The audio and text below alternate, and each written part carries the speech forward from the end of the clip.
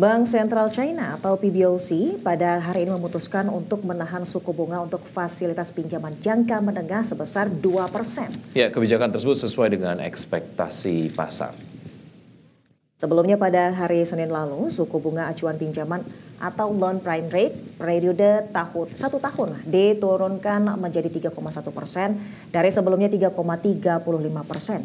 Sedangkan LPR 5 tahun diturunkan menjadi 3,6 persen dari sebelumnya 3,85 persen. Ya, adapun penurunan tersebut berada pada batas atas kisaran 20 hingga 25 basis poin yang diperkirakan oleh Gubernur PBOC Pan Gong Seng dalam pidatonya sejak akhir September 2024. Pemangkasan LPR dilakukan oleh PBOC menguraikan langkah-langkah untuk mendorong pertumbuhan rumah tangga serta mendorong pinjaman perbankan.